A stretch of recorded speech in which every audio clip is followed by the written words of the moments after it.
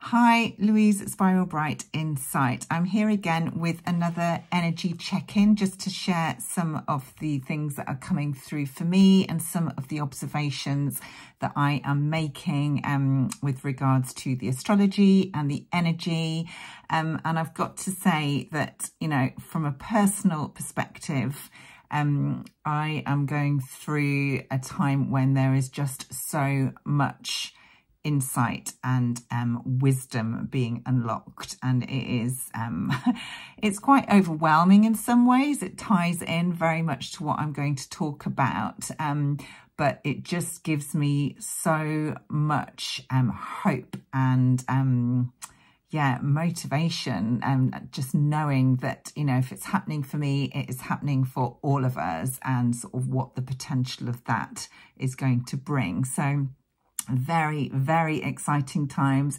Admittedly, very intense, very overwhelming, you know, so much fear, so much overwhelm sort of coming through, which again ties into what I've come on to talk about. But, um, you know, as so much is being, as we're being rattled and shaken from at the core, um, you know, it is creating this space for what has been locked down deep within to be released, to be, well, first loosened, and then as the pieces are loosened, they start to rise to the top, you know, and if we are ready to see them, um, you know, the, the, yeah, the potential is just incredible here. So, um, yeah, I don't want to sort of take away sort of the intensity and the challenge of the times that we're going through, but I'm also really, really focused on the potential here.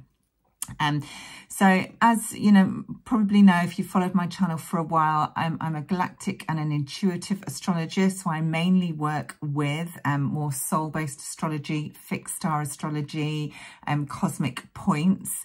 But I'm being very, very much drawn to look at human design and the gene keys at the moment. Um, and, you know, thank you to everybody who has made suggestions and sort of given me resources to explore. It is vast.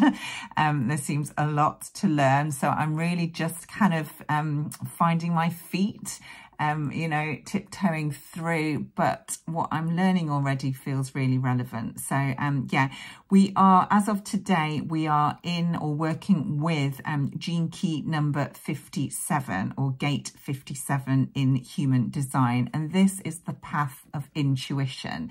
Now, how relevant and appropriate is that, you know, that as of tomorrow, Jupiter is about to station retrograde. So I will be talking about that soon. But first of all, I just want to kind of talk you through or walk you through, guide you through the energies and the meaning behind Gene Key 57. And as I said, I just want to reiterate, I am not an expert. There are loads of people out there that, you know, really, really know their stuff. Um, so, you know, perhaps this is more my perspective um, and what I picked up through reading and listening to various sources. Obviously, Richard Rudd, you know, is amazing when it comes to gene keys. Um, but this gate or this path takes us from an state, a state of unease through our gift of tapping into or tapping into our gift of intuition, which leads us to clarity. So if we break that down, you know, when we are in a state of unease, and this, you know, tends to be, it starts off in the mind. Yes, it can come down into the body because, you know, if we are all or, you know, if it's affecting us emotionally, it will also work its way into the body. But for a lot of the time, unease will start in the head, in the mind, in our thoughts, which then affect our emotions, which then affect our physical um, experience. And when we are in overwhelm, sorry, unease, we are effectively in overwhelm, you know, and at this time, it's hard not to feel unease because there is just so much coming at us. And in terms of information, truths being uncovered, you know, massive, massive um, natural disasters and world events, wars, you know, we are literally everywhere you turn, you know, there is traumatic, um, harrowing, you know, fear fear-filling news, um, you know, whether you watch sort of the mainstream media or not, I know most of us don't, but, you know, we have, we are tapped into what is going on. Even if we don't know, we can feel the impact that so much of this sort of information and, you know, everything that's happening, the, the impact that it's creating energetically. So we've got all this like complete onslaught of information. We've also got an onslaught of light codes and higher frequencies coming in through all the flares from the sun, you know, and they are literally coming almost daily now, um, you know, and that creates overwhelm. It's a different kind of overwhelm, but it effectively translates in the same way. So when we are in this state of overwhelm, when it just feels too much, it is very difficult to be able to tap into your inner guidance, to your inner wisdom, to, in, to be able to listen to that inner voice. You know, it's very much easier to step into a state of fear, into a state of mistrust. Often, as well, you know, it can just cause us to completely disconnect because it becomes too much and you just say, I can't cope. And literally you know you want to stick your head under the cover. I know that's not possible for so many people right now but you know it is really um yeah it, it's a lot. And it's kind of a, an acknowledgement that it is a lot. And with jupiter you know about well slowing down about to station retrograde you know this is a powerful energy in itself jupiter will expand the energy in the chart. Jupiter, the planet of growth, expansion, abundance, opportunity, um, you know, and as he comes to station and move retrograde, you know, th this is a big deal in itself. In Gemini, you know, this is expanding the amount of information and the codes and the strands and the energies that are coming our way that we are being completely bombarded with. Um, you know, and it's going to really help us to, you know, ultimately when Jupiter goes retrograde, we are going to be called within. So this is going to help. But as we have this kind of period where it's about to happen, everything is just louder, noisier, bigger, you know, so if like me, you're just thinking, oh my God, you're completely in tune with the energies. I don't know whether that's reassuring or not, but um, yeah, it's uh, it's a lot. So as we work with, um, you know, the sense of ease, um, sorry, unease, love to be ease. I know a lot, a lot of it is about ease as well, but you know, when we're uh, in this overwhelm, unease, we are very much in the head. So it's hard for us to drop down into the body. You know, it creates anxiety, it creates fear, it creates self-doubt. You know, we're constantly second guessing. We can even start to just completely disassociate and disconnect, as I said, you know, and almost just like, oh no, I just, I don't believe any of this. It's all too much. How can it be true? Um, but, you know, unease also comes from, you know, being distracted in the extreme, which again feels like that is partly what's going on at the moment. There are so many different sort of stories coming up and, you know, it can be hard to know what's real and what's not, to discern, you know, especially when you are feeling overwhelmed.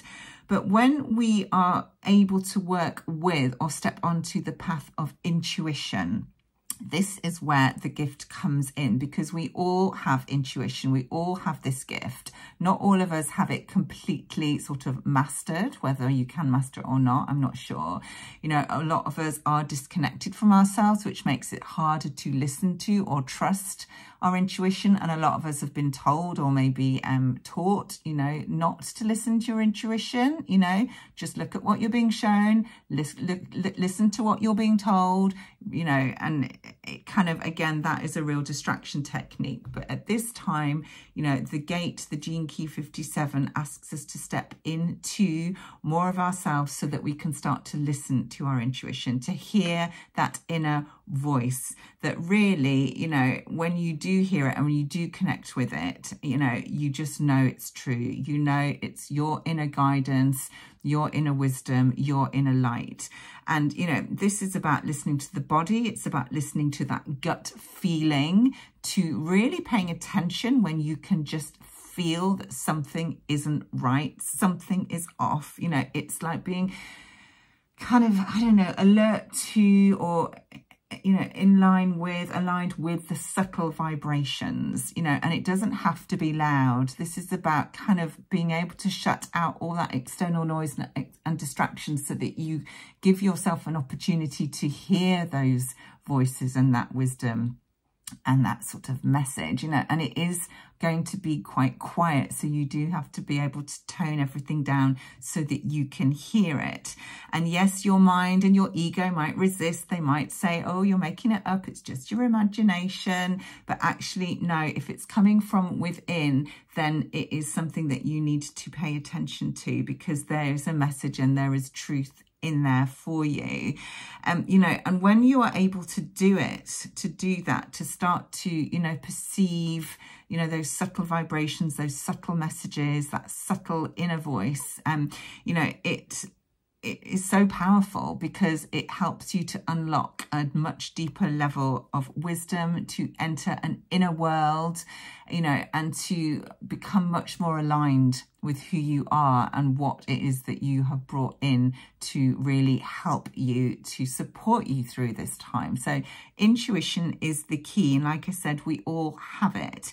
Um, but, you know, it does require often letting go of all that distraction, letting go of all the teachings, everything that you think you know, you know, and with Jupiter stationing retrograde again, it's like Jupiter in Gemini is so much focused on information, understanding. We want to know. We want to know it all. We want to know all the strands, read all the books, listen to all the podcasts until the point is, you know, we just have, there's just too much. It's just so overwhelming. We don't actually know how to anchor ourselves and what to focus in on. So, you know, as Jupiter stations retrograde, it's going to encourage us again, and it just fits beautifully with this gate 57 to start to really switch off from all that external noise and to come within and to connect with the inner wisdom that lies within because we all have this information locked within us. Now, for some of us, we're lucky enough to have access to, but for so many of us, it lies deep within the shadow self, almost,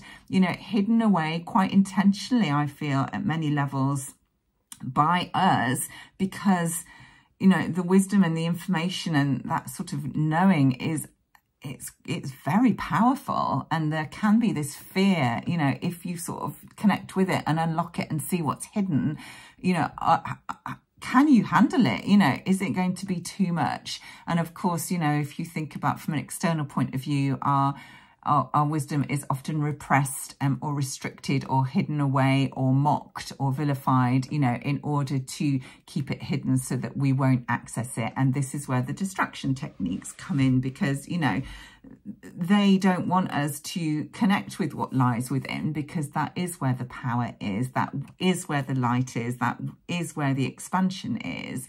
And, you know, it's much safer, you know, to keep us in a state of not knowing, of disconnection, of not being able to access it. But this is a time where, you know, we are invited to come within. And when we do, and we create that stillness and we listen to that inner voice and we start to look into the shadow, into the depths, we will see what is hidden. And that is, you know, the potential of that is just incredible. And I feel I'm going through something, you know, very much aligned with that journey at this time, really looking at what is locked in. And it's not for the faint of heart. It's not easy to look into your shadows. You know, you have to look at what makes you fearful, where you might feel ashamed, you know, what is uncomfortable, um, all the feels, and you know, and from a kind of human perspective, they are quite negative emotions and feelings, but in actual fact, it is through that that we can get to the source, to the nectar, to the gold, you know, to, to the prize, to the jewel that lies within. And I, am going to come on and talk more about the shadow in time. I feel I'm still kind of pulling the strands together of what I want to share, but it is just coming up so strongly. So I will definitely be back kind of go into this more deeply. But just coming back to gate 57, gene key 57, when we connect with our intuition, the siddhi or the, you know, the ultimate, the goal where we are heading is clarity. And this is clarity in terms of having access to, you know, that information which hasn't been manipulated, it hasn't been interfered with, it hasn't been influenced by something, it hasn't been dirtied, sullied, you know, it is clear, it is pure, it is divine, it, it, there is lucidity, there is um, just like this ah, aha, you know, and with that becomes comes relief and the understanding and the knowing, um, you know, through the light. And this is, you know, with all the light codes that are activating and supporting us to access this time. So really, you know, it is the point where, you know, when we get clarity, we can then release fear because you know, we can trust, we can feel safe. And with that, we let go of the fear that has been holding us in a certain state of unease. And we just step into stillness and into pure love. And we start to realize that, you know, what it is that we have buried and hidden deep within is actually the light. It is source. It is the divine that stays, that lies, that remains, um, that hides effectively within all of us but it is being able to pierce through the density um, and the restrictions and the shadows in order to see what lies within.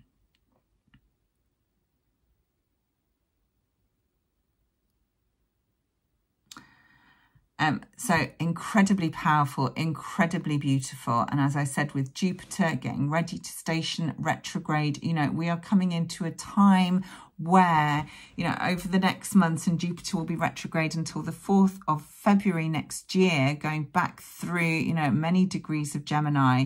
This is about being given an opportunity to really review information, to perhaps pick it apart, to sit with it, take it within, to really try to process it.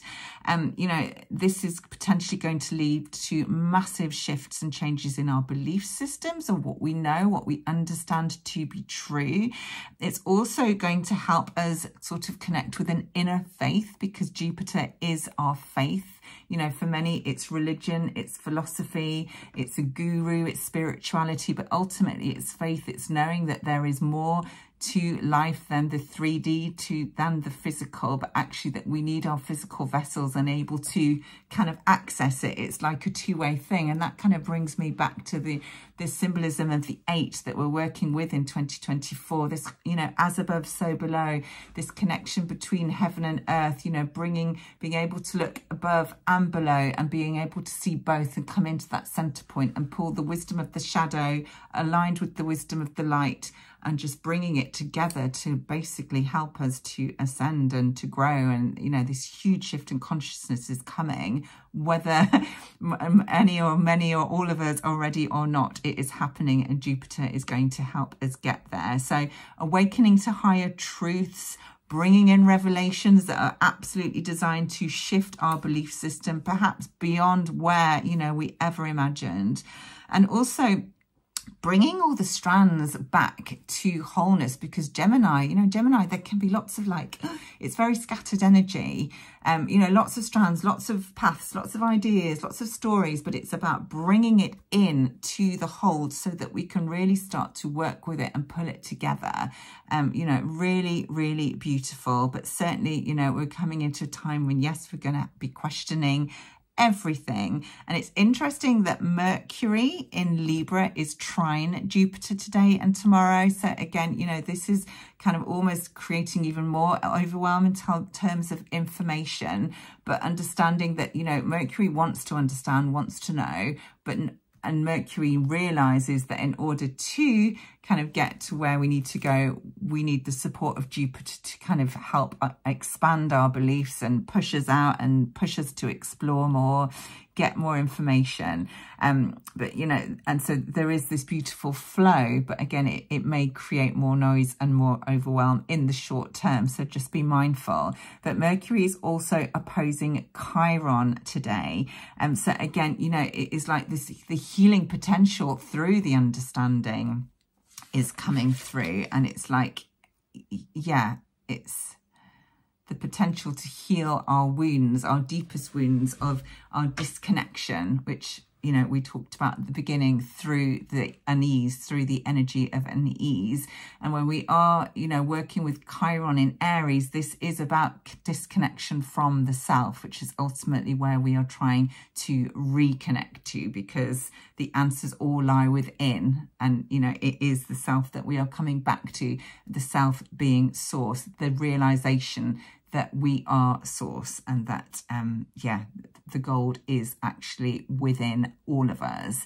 Now, tomorrow, um, actually, no, Thursday, we have got um, Mercury is going to oppose Eris. Now, Eris being the kind of dwarf planet of discord, chaos, strife, um, you know, so it is, it is quite likely that sort of come, you know, towards the end of the week, there's going to be, you know, a lot of information coming through that is going to rattle us, that is going to challenge us, that is going to create anger and discord and, and ultimately chaos. But again, sort of being aware of that often, you know, helps and knowing that it is just a it is a transit okay so but just be mindful of that and that is on the same day that we have the 1010 portal which is obviously magnifying new beginnings and new endings and kind of a completion the potential um through the duplication of that number and I just want to jump a little bit further ahead as well. Come get to the weekend and, you know, it's not going to be any calmer, I have to say. We have got Pluto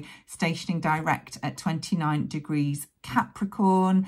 You know, for me, I've talked about this a lot. We've talked about um, Pluto all year and, and last year. You know, it's like this is such strong, profound, intense, powerful energy. But as Pluto gets into, you know, the time when he's now going to finish off his um, stint in Capricorn over the coming weeks, you know, there is even more intensity to what is coming up from within. And, you know, again, I talk about this a lot. It isn't just about what's going on on the outside, about truths coming to light and information and disclosure and all of that. It is about being able to tap into what lies within in terms of, you know, where has the patriarchal system kept you small, kept you sort of locked in, you know, kept things repressed. This is like your power is coming up from within and coming out. And again, the potential of that when we start to realize who and what we are is just, yeah, it's staggering. Um, on Sunday, Mercury is going to square Pluto. Mercury will come to the final degree of Libra. Libra, by the way, you know, side note, obviously linked to justice as well as harmony and balance and peace. So Mercury coming into square Pluto at the anaretic degree. Again, this is intense. Um, information possibly relating to justice, which is going to really, you know, force Pluto to play his card to show us what has been hidden in terms of all the systems, all the structures, all the role models, you know, all the people that we put on pedestals, you know, are we going to see the truth coming out? I, I do think so because there's quite a lot of other um, alignments going on on Sunday. And of course, Mercury, after squaring Pluto, is going to step into Scorpio, which is the sign of secrets and what is hidden. You know, the, also the opportunity to really access through the shadow, you know, some really deeply healing energies that can help us sort of regenerate in many ways. So, you know, there is so much going on um, just over the next six days. So, um, Oh yeah, and of course on Monday next week, Mercury's going to meet the Shapley attractor. really powerful cosmic point linked directly to truth, to masks falling, to the veils being lifted, curtains being opened. You know, it is nothing but authenticity and integrity and truth when the Shapley is activated. Um, so yeah, we have definitely got some really interesting energies coming up over this six day kind of gate 57 um, process and, and journey that we are moving through. So, um, yeah, it's really, it's like, yeah, it's wow, it's wow. But ultimately, you know, the gift, the message is to step into yourself trust your intuition, step into your intuition and know that as all these energies come through, you know, our intuition is deepening, it is strengthening, it is growing. So even if you might think, oh, I'm not that intuitive, I'm not that psychic, you know, I don't hear things, I don't see things, I don't get messages, just put that aside and trust that actually you are intuitive and that you can connect to your inner voice and there are messages everywhere if you are willing and open and ready to see them. Okay, so again, that feels important as well. You know, don't just sort of say, oh no, that's not me, I'm not intuitive, although I'm guessing a lot of people watching my content are. You know, it is, your intuition is your greatest gift. So trust it and stop relying on, you know, what other people are saying, what other people are telling you. If it doesn't feel right, or you're being guided to do something or share something or say something, you know, trust it. Tap into that because your body, your inner gut feeling knows, and that is just it's worth its weight in gold right now okay? So amazing energy to be working with to be supporting us at this time. I hope you found that useful. Um yeah i mean I'm gonna, I'm just gonna keep coming back and sharing as things come up. So, you know, keep checking in. If you're not subscribed, please do so. I think you can, I don't know, click a bell or something so you get alerts when I have released new content because I don't always share that on my other platforms. I'm kind of tending to focus on YouTube at the moment. Um, but um, yeah, and if you need support if you need insight, if you want guidance in terms of your own astrology, your own galactic alignments, your own connections, starseed lineage, what's going on, transits, anything, you know, I am available to do readings and energy work. So you can find out um, more at spiralbright.co.uk.